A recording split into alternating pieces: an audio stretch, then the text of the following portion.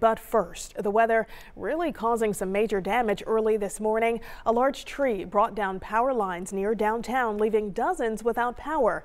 Gina Glero spoke to a neighbor who heard the damage outside of his home. Capitol Avenue at 36th Street was closed on Wednesday morning, all because of power lines that were down. IMPD blocking traffic. And what happened, a tree actually blew down in the wind, bringing those power lines down with it. It just, the way it fell, it sounded like my whole house was coming down.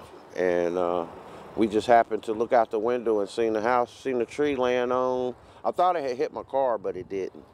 So that's a good thing. He and his neighbors didn't have power on Wednesday morning. Their home is also a daycare business, so they're having to close for the day.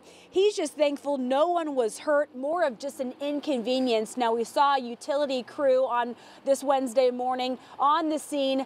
About 56 people in this area are without power. Now, if you have any lines that are down in your yard or in your street, of course, stay away from those lines and call first responders. We're reporting on Capitol and 36th Street. Gina Galeros, 13 News.